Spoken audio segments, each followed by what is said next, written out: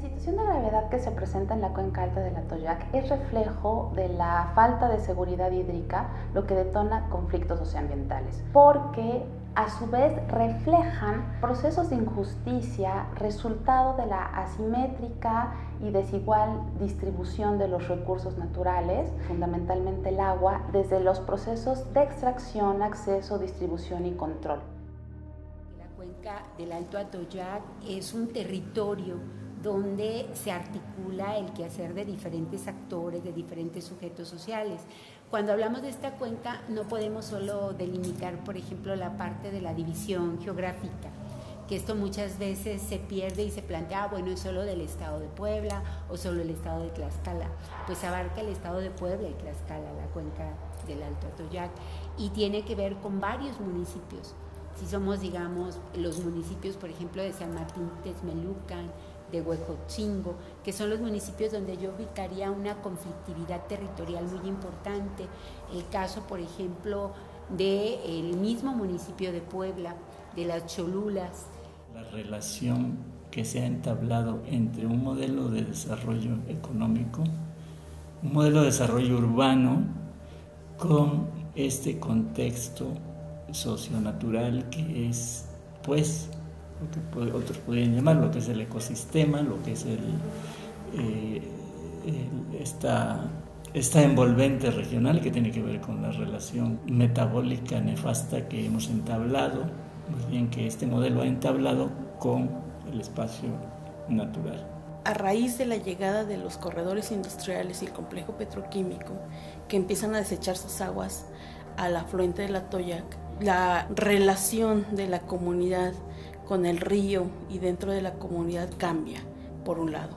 Pero por otro lado también, el río históricamente servía para las comunidades para abastecerse de agua, para regar sus campos de cultivo, para eh, hacer la vida de la comunidad ahí, nadar, eh, y en ese sentido se hacían los compadrazgos, era toda una relación comunitaria alrededor del río, las fiestas, el sábado de gloria, pues la comunidad ahí se reunía. Y además había un montón de especies en el río, ¿no? La gente refiere pues que había cociles, que había eh, nutrias, que había este, peces, berros, una serie de, de biodiversidad que se perdió con la contaminación cuando estas industrias empiezan a desechar. Pues una problemática que se ubicó es que las sustancias presentes y que son más tóxicas no están normadas, por un lado. Por otro lado, la doctora Regina Montero hizo una investigación de daño genotóxico en la población. Ella encontró que el 71% de la población, no importando a qué se dedique, en promedio tiene cinco veces más daño genotóxico que un habitante de la Ciudad de México. Entonces los niveles de expresión de la conflictividad pues han sido diversos. Creo que es muy importante que se registren, que son rurales y son también urbanos. Hay también aquí un concepto que, creo que es pertinente que utilicemos, que es el de interfase. La interfase en términos de plantear que nada es estrictamente rural ni estrictamente urbano. Hay toda esta parte donde hay una intersección de ámbitos donde hay ámbitos urbanos que están viviendo y viven efectos en lo rural y hay ámbitos rurales que tienen efectos en lo urbano. Y si no veamos el tema del riego, por ejemplo, de las plantas con estas aguas contaminadas y el efecto que tiene en la salud para los consumidores en la ciudad y las consumidoras en la ciudad. Estos conflictos, en algunos casos históricos, son resultado de los procesos de urbanización e industrialización en la cuenca. Los principales conflictos pueden darse entre usuarios agrícolas, industriales o urbanos, pero también entre comunidades que se disputan una misma fuente de agua, por la transferencia de los recursos hídricos de zonas rurales a zonas urbanas, por una inequitativa distribución del recurso más allá de su escasez o abastecimiento, por impacto en la población de procesos de contaminación, por modificación de los marcos normativos hacia procesos de privatización, por cobros indebidos o injustificados, ya sea por las autoridades del agua o por eh, comités de agua no formales, por la escasa incorporación de mecanismos y formas de organización locales para la asignación del agua en comunidades o localidades pequeñas, pero también por el impacto de la contaminación en las poblaciones. Todo este conjunto de conflictos muchas veces han derivado en formas de organización y de movilización que han demandado al Estado el reconocimiento de diferentes tipos de violaciones a sus derechos humanos. Un caso muy importante es el que se dio eh, con la coordinadora por una Toyac con vida, que demandó a diferentes escalas de gobierno, eh, primero por eh, violentar sus derechos a la información, al acceso a un ambiente sano, pero también a la salud. En 2011, nosotras metimos una queja a la Comisión Nacional de Derechos Humanos a raíz de que fallece una hija de una de las señoras que venían en el movimiento. Zulma falleció, eh, muy joven ella, con una leucemia muy agresiva, que cuando, de cuando se la detectaron a cuando murió ocurrieron 10 meses nomás. ¿no? Y entonces a partir de ese caso es que metemos la queja a la Comisión Nacional de Derechos Humanos.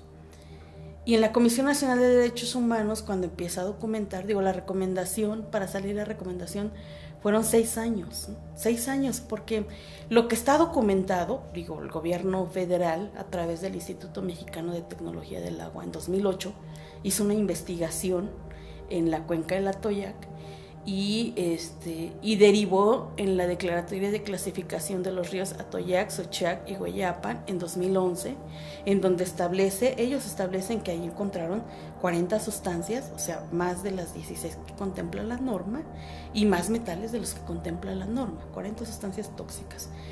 Además, establece la declaratoria que debe haber plazos de cumplimiento, ¿no? En 2012, 2015, estamos en 2019, ya debería verse la disminución de la contaminación y eso no ha ocurrido. Y la recomendación, entonces, lo que establece son más de 100 recomendaciones que hace a los gobiernos federales, estatales y municipales. Tiene que haber un grupo interinstitucional en donde esté la CONAGUA, la PROFEPA, la Semarnat, la COFEPRIS, la Secretaría de Salud y tiene que estar el gobierno de Tlaxcala, el de Puebla y los municipios para integrar un plan de saneamiento. Se gastan el dinero en plantas de tratamiento. O sea, hicimos una petición vía la ley de acceso a información en donde en Tlaxcala el 65% de las plantas no funciona. En la realidad lo que sucede es que se gestionan de manera eh, independiente y desordenada, ¿no? Los organismos operadores entonces no encuentran manera de resolver porque son los que se les ha dejado la instrumentalización de la gestión del agua. Tiene que tener también una infraestructura para tratar, sanear el agua y regresarla otra vez al, al exterior. Vemos que hay una ambigüedad en el gobierno del agua. No queda claro a quién le corresponde qué, cuáles son sus facultades y quién tendría que garantizarnos ese acceso al agua. Desde ahí viene la conflictividad, porque la gente no está informada, no sabe a quién acudir cuando le están cobrando el agua de determinada manera, no sabe que hay un reglamento, por ejemplo, al cual los sistemas operadores de agua tendrían que adscribirse y no hay una Contraloría Social, que ese es otro de los puntos que para nosotros es muy importante, que tendría que existir a todos los niveles, ¿no? Y que obvio, también de aquí se desprendería que tendría que haber ese consejo de cuenca, ese gobierno de cuenca, de subcuenca, de microcuenca, y desde ahí desprenderse ya para el uso del agua los sistemas operadores. Esta parte del fluir del agua, que debe ser como nuestra matriz principal, ¿cómo fluye? No podemos pensar en transformar esta situación diciendo, bueno, pues vamos a crear estos organismos, lo que hace falta es pegarle por acá esto, pegarle por acá a otro organismo y decir, no. Eh, o sea, el agua no se la podemos negar a nadie, un vaso de agua no se lo podemos negar a nadie. Los problemas en la cuenca no son solo de escasez y de saneamiento, son sobre todo problemas de gestión y una débil gobernanza.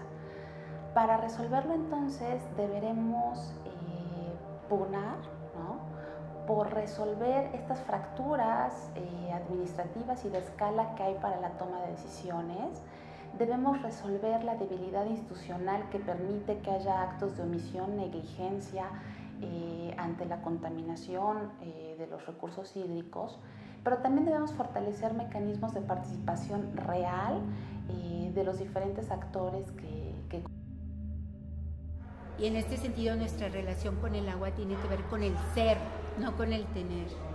Y esto lo quiero recuperar porque los conflictos han partido de ahí. Cuando algo nos conflictúa, entonces no tenemos que ver el conflicto como algo negativo, sino como una oportunidad que nos plantea que algo no está bien, que algo no está armonizado y que tenemos que armonizar.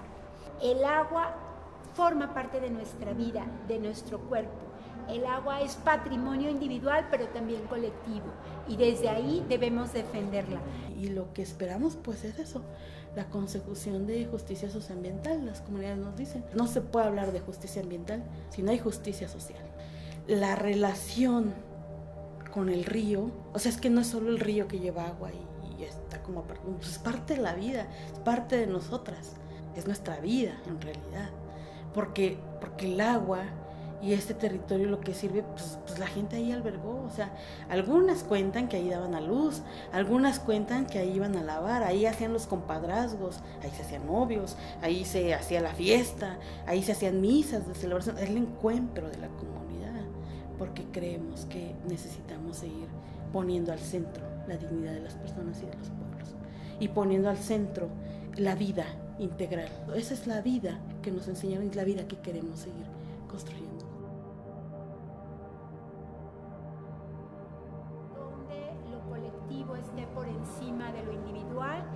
Donde lo colectivo, lo comunal, lo público esté por encima del mercado.